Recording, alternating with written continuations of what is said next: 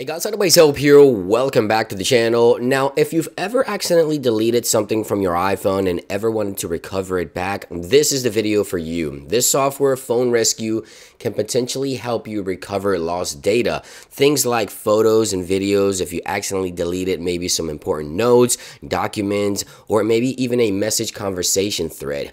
Phone Rescue can potentially help you recover all that data because, believe it or not, sometimes when we delete something from our phones, it is still there, but this software can help you extract that information. So let me go ahead and show you how easy it is to use Phone Rescue. Now, the first thing, of course, you need to do is connect your iPhone to your computer, and you have several options. You have recover from your iOS device right here under data recovery. You have recover from iOS device, recover from backup, whether as a backup from your computer or your iTunes backup on a PC. Every time you plug in your iPhone to your computer, computer, at least on a PC with uh, iTunes, it will create a backup automatically. So it's really cool sometimes when you connect an older device, maybe you can find some old photos that you even forgot that you had or videos and maybe even conversations as well from messages. I'm to show you how that works.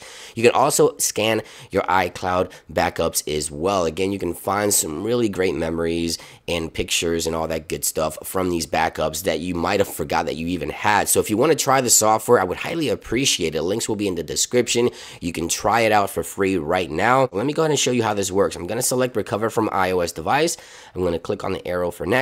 This is where it gives me the option of what type of data I would like to recover. So we have contacts, call history, messages, reminders, calendars, voicemails, notes, Safari history, Safari bookmarks, photos, photos and videos, thumbnails. I mean, the information that you can recover with the software or potentially recover with the software is amazing. I'm just going to go with the messages just for the purpose of the video. So let's say I deleted some messages and I want to go ahead and select only messages to potentially recover maybe a conversation from a message thread. So I'm going to go ahead and click OK here and it's going to start doing its thing. So once the phone is connected, obviously the software will go to work. It will show you a lot of conversations and messages that you had or have on your iPhone. A lot of these will also not be on your phone. So for example, here's the list of conversations that I have. Let's see what Phone Rescue comes up with. I'm going to show you here in just a few seconds. Now, depending on how much data you're looking to recover, that's the amount of time that it will take. So just keep that in mind. It will take a little longer depending on the amount of time or data that you're looking to recover. So in this case, it's just messages. This should take, I don't know, anywhere from 5 to 10 minutes, relatively quick. So let's go ahead and wait here just a few minutes. This is data being recovered directly from the device. Keep that in mind, guys. So let's go ahead and wait here. It looks like we're 100%.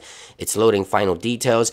And here it is, analyzing your data. Please wait in just a few seconds here. If we tap into messages, we'll see all the conversations, all the threads, and all the messages that are on this device and some of the conversations that I've deleted in the past. Now, I'm going to blur some of this information out, obviously, for privacy purposes, but you'll see here in just a few seconds all the conversations and messages that I can recover with Phone Rescue. And just like so, as you can see right here, there's a ton of messages and also message threads threads that are not on this phone that are showing up on the actual software. So I can recover a lot of data as you can see right here. Conversations that I've had in the past that are not listed on this phone are actually listed right here as you can see from this recovery method with phone rescue. Now, these videos help keep the channel going, guys. If you want to go ahead and try it out, as I mentioned, links will be down below. You can save this data directly to your computer if you wish to do so. For that part, you do have to pay, but for scanning your device